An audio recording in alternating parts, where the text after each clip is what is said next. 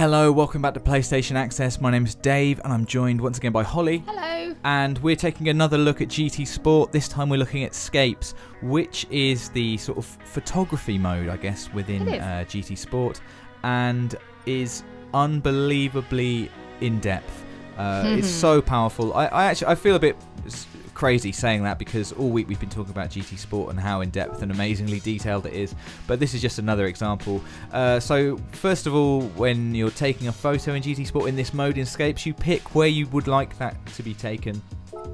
That was just a look at the gallery of available options. They're split up into all kinds of different, Yeah, you know. roughly a thousand different photography spots uh, Wow. to pick from. Everything from you know nature, cities. We just had Roppongi there.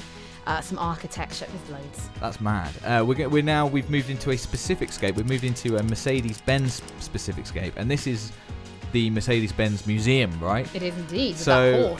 Uh, because this is this is actually in Brand Central, which we've got another video on, uh, which you should check out. So you can only use Mercedes cars in this, which is you know uh, fair enough.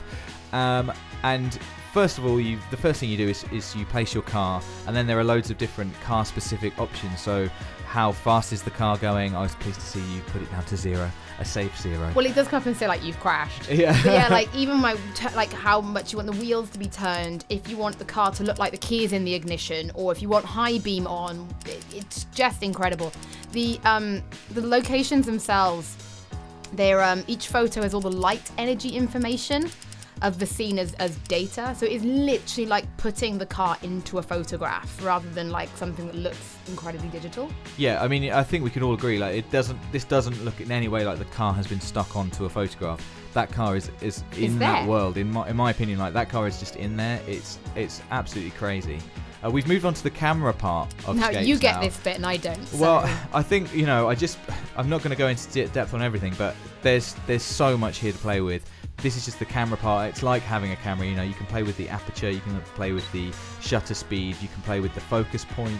Uh, obviously, you can you know uh, frame the shot as you want. You can pan the camera, zoom it, uh, move around. Um, you can. We're now moving into the effects part, and it's basically like it's like a Photoshop. You know, it's yeah. there are there are layers uh, you might recognize from like Photoshop, or there are there are specific preset event uh, effects that you can you can go in and make your own. You can tweak them. Uh, you can layer them one on top of the other. Um, it's incredibly powerful. Like it's unbelievable, really. I mean, this in a way this could be a game on on its own, in my opinion. Oh, it was for me. It when we were there, like poor Dave had to do all the really hard work, which was do the VR race and had to do some real racing. and I was like, I'm gonna work. go play Escapes. Like I'm gonna go, I'm gonna go make something pretty. To me, this this was like the biggest addiction I could have spent. I did actually. I spent so long playing. I love that glare.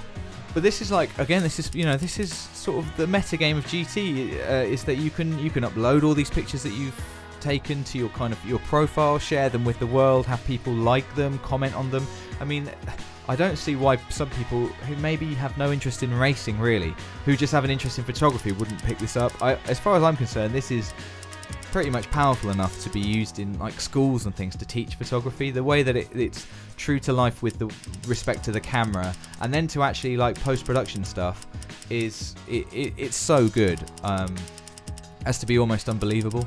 I, I was honestly blown away and some of the results you're ending up with um, are nuts. You can even pan the camera so you can uh, play around with shutter speed and moving the camera whilst you take the picture to end up with some results that are kind of like have motion blur and stuff which we'll be having a look at at the moment Oh, you did put that one in because that was my favorite picture. why uh, why did you go with this sort of frosty It felt ice queen with the horse, everything just felt right. it was uh, it was with the horse It would just, it, it just felt like the right thing to do with the horse. yeah i think you're right i love that horse i, I want to know more about it like what's its story Like, why is it at the Mercedes Museum? Why? What? What's he?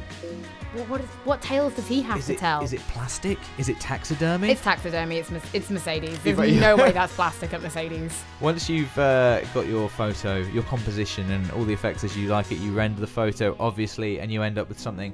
Uh, I think we can all agree quite spectacular, uh, thanks in part to that horse, which um, That horse brings this. This gives this this picture a new depth, and that is the horse. But There look at that is. car. look at that horse. That car is in the world, and I just wanted to show you. This is some of the effects that you can end up with pa- with panning.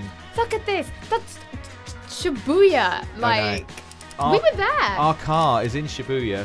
You just played around a little bit with the speed of the car, the speed of the panning, and you end up with some things that just, I mean, I don't know how you could say that's that's not a real picture from from a real world event. It's absolutely nuts. Um, thank you for watching this video on GT Sport Scapes within GT Sport, which I think we can all agree is probably the most powerful and in-depth uh, photo mode in any game ever. It's absolutely amazing. Uh, please do like this video if you like this video. Comment to let us know what you'll be uh, taking photos of in GT Sport, and stick with us for everything PlayStation.